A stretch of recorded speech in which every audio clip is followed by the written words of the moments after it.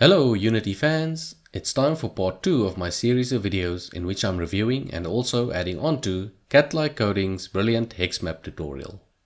I'll link to the introduction and part 1 in the description, or you can follow the link in the top right right now to start at the beginning. At the end of part 1, we had our base geography ready to be populated. Today, we will be adding various features to the map. There will be buildings, farms and trees, but they will all use the same generic feature manager. Let's visualize the basic idea.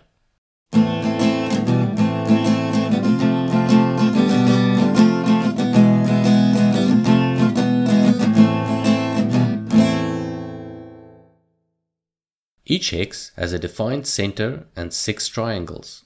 This means there are seven natural positions per hex to place features on. Some features, like special landmarks, work well in the middle of a hex, while others need to be scattered more towards the edges. Note that some of the six triangles may be disqualified as feature placement positions due to roads or rivers already running through them, but we show an otherwise empty hex here to convey the main idea. Note that we don't want all the features to be rotated exactly the same way, and we don't want to completely populate each hex like this, since this would not look organic at all. So we store repeatable random rotations for all features in a hash grid and we allow for a density setting for each hex. Some of the features are then randomly left out based on the density setting. Furthermore, differently sized prefabs are supplied for each feature type and each placement picks a random one to give us some variety. This can be repeated for each feature type and the feature types can even be mixed on a single hex the final factor is perturbing the locations to shift each feature around a little bit inside its triangle. After completing the UI for the features, which works just like previous elements, features can now be placed on the map in many different combinations. While our features are placed on the flat centers of hexes, walls are placed in between hexes. Since they have to follow different contours, we cannot simply use a prefab like for the features the walls need to be triangulated in another mesh. Each hex can be set as walled or not, and walls basically need to be constructed halfway between any two neighbors with different walled states. Walls are created with a thickness, a top, and caps on the sides to close them off. The largest part of this section is about adding random perturbations to the walls as well, making them follow terraces rather than having one long section making gaps for roads and rivers, handling interaction with cliffs and water, and then making sure that all the little holes showing up in all the special cases get cemented over.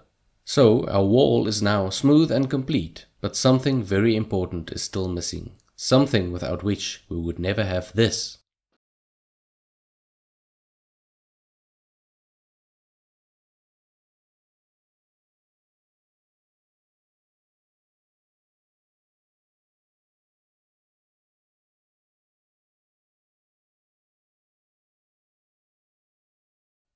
Watchtowers, of course. A watchtower prefab is added to the wall at strategic locations, namely on corners. However, not every corner gets a tower, and certain positions, for example on slopes, are disqualified. Towers are rotated according to the wall segment they're being placed in, and extend down low enough so they don't float above terrain that slopes down. Next, a bridge prefab is placed across rivers that have roads on both sides, the prefab is slightly stretched and rotated to fit the different possibilities of roads. Finally, some special features that are not allowed to mix with the previous features, water or roads, are created and placed in the center of hexes with a random rotation. We've been spending a lot of time creating more and more interesting maps with an increasing number of features, but we do not currently have a way of saving those maps for later. This is remedied in the next section. All the required information is stored in a binary file. Since our save file formats are still evolving, we also add a version value into our saves. In this way, we can keep track of which saves can be loaded by which versions of the project, and we can build in backwards compatibility. The most important factor in this section is that we change the format of some very important information of our hexes. We will not store hex colors, but translate each color into a texture index. This index indicates which texture should be applied to the hex rather than which color. This will be required later when we bring in actual textures to replace the cell colors.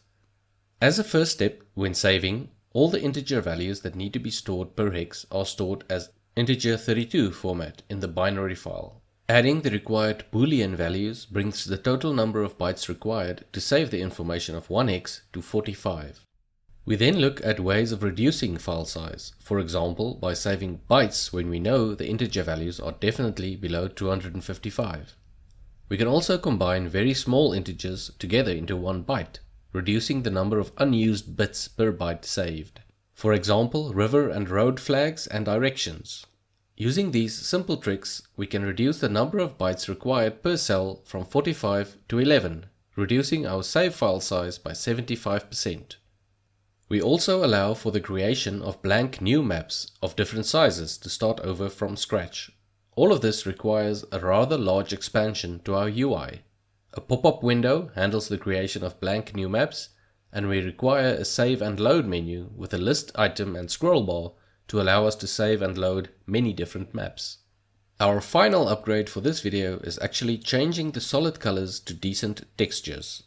Jasper or Catlike Coding has got an entire separate tutorial on that, but I'm just going to describe the main idea here. We employ a technique called splat maps. Each single triangle that gets created in the mesh needs to be rendered with some texture.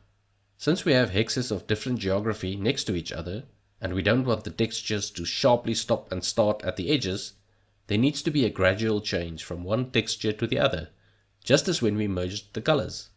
Each corner of the triangle can be associated with one texture, and interpolating between the corner colors at every point within the triangle gives us the blending factors.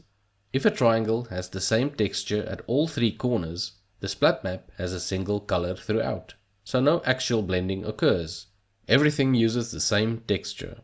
But when one of the three corners is associated with a different texture, we need the triangle to render the first texture along its base but then gradually change towards the second texture at the third point. If all three points are associated with different textures, the blending happens in all directions between three textures. We place our textures in a texture array that exists as a single object in GPU memory. We then define the three colors of the splat map and have to now go through each triangulation instance and make sure the correct colors are passed to the triangle corners. That's a lot of instances, but it's worth the effort when you see the solid colors change into actual textures. And that's it for this episode.